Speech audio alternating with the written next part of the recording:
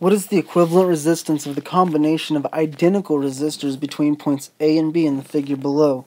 So what this question is, is wanting is just an algebraic uh, solution.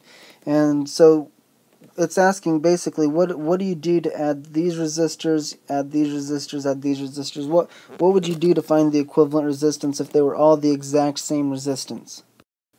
So to add them that are in a, a parallel circuit, you just take 1 over R plus 1 over R plus 1 over R.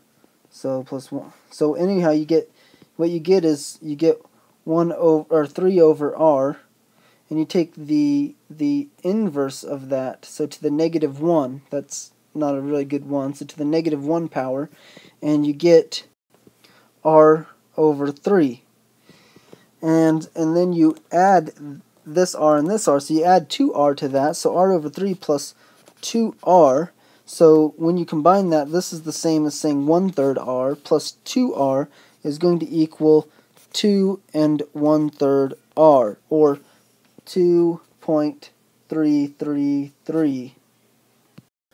Alright, thanks for watching.